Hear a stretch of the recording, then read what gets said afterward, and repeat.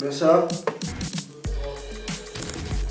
Nej, det er sgu ikke pølse. Jeg prøver at balancere ting her. Jeg tror ikke, jeg har filmet noget nu i dag, så det vil jeg lige gøre. Jeg vil hoppe i bad, og så bliver jeg hentet af min bror her senere. Jeg har lige fået redigeret vlog og sådan noget, men øh, øh, jeg vil i hvert fald hoppe i bad nu. øh, øh. fuck. Eller... Det har overhovedet ikke regnet i dag, altså regnede det var lidt Det pludselig. ligner umiddelbart overhovedet ikke, at det snart går over. Prøv at se, hele himlen er bare overdækket. På kamera, der ligner det ikke, det regner. Jeg vil bare sige, at det ikke regner. Det er lidt nedere nu, når vi endelig har taget os sammen til at gå ud. Vi skal stadig ud. Fuck, hvor kogeren. Det ligner, det er stoppet.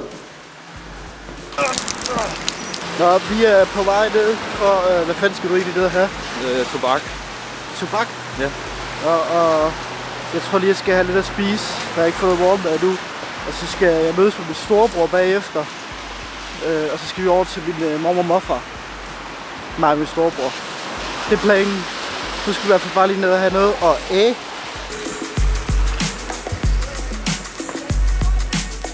Nu fik Mathias sin tobak. Og hvad hedder det? Jeg købte sådan nogle, øh, nogle KitKat med cookie dough, hedder det.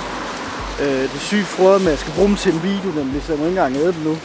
Altså, det må jeg sikkert godt, men det er lidt dumt. Men altså, jeg skal bruge dem til en, øh, en opskrift, som jeg så nogen lave på YouTube.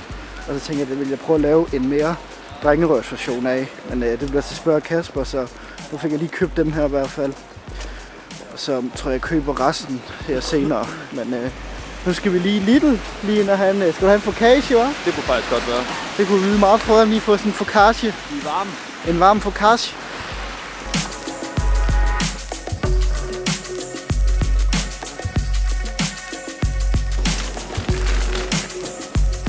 For satan, mand.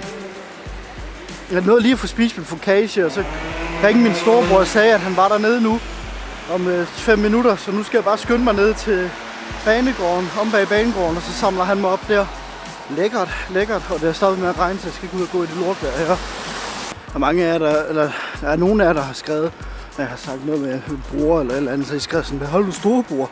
Eller har du en bror? Og så jeg bare lige sige nu, ja, jeg har en bror, en storebror. Han er 30, tror jeg, mener jeg. Øh, 30, og han er min storebror, sjov nok så, og han er 100% min bror. Altså, vi har samme mor og far. Så ja, det har jeg.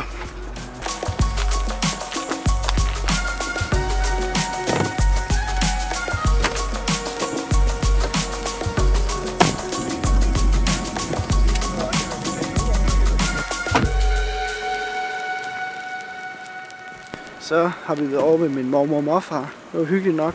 Vi nåede faktisk ikke, at min storebror han skulle aflevere bilen. Øh, hvad hedder det? Der var en, der skulle bruge den, nemlig så vi nåede ikke at spise derovre.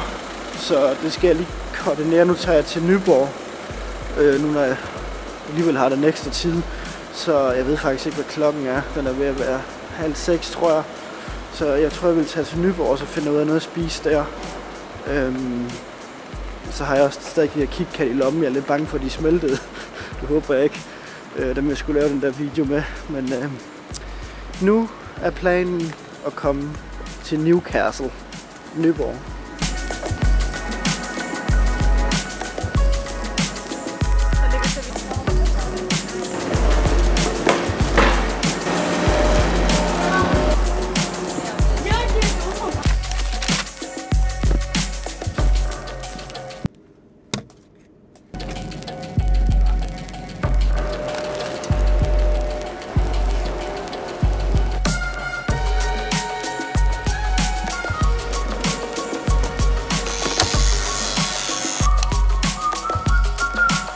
Nu er jeg øh, lige på vej ned i Netto for at købe det, jeg skal bruge til det sidste til den øh, Netto-video. Skulle jeg til at sige, den video, jeg skal lave, hvor jeg skal bage ting og sager.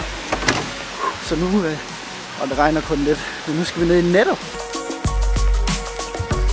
Hej og... Lige nu der er jeg i gang med at filme en spørg Kasper video, nu når vi er nede og købe alle de der ting og sager. Med alarm. Så, men øh, nu lige nu, så skal det bare lige stå en time inde i køleskabet, så kan man jo altid lige øh, få den en kugle jo. Åh, Ja, så har man fået, af for satan, fået et den der kage der. Den smagte øh, faktisk øh, mere øh, bedre, end jeg lige havde regnet med, så hold da kæft, jeg, øh, ja, men jeg ved ikke, hvornår at, øh, videoen kommer op. Jeg skal lige tage mig sammen til at redigere den. Jeg har sikkert kage rundt om munden. Men øh, jeg tror, jeg vil slutte vloggen af her for i dag. Og så ses vi i morgen, for nu har vi sengen nu. Og så ses vi i morgen, som jeg lige sagde, ikke? Men jeg håber, I er nødt til med, at vi ses. Hej hej!